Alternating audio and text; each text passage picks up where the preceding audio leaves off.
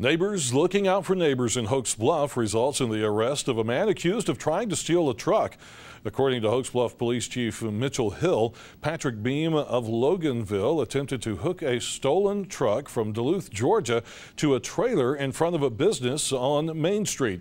Authorities say the neighboring business saw the utility trailer being taken away at about 11 p.m. last Thursday, so they called 911.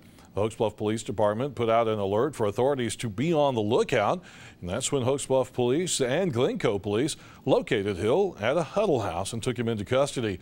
Now, the truck had been reported stolen three days earlier. Hill was charged with first degree receiving stolen property, first degree theft of property, possession of a controlled substance, possession of drug paraphernalia, and giving false information.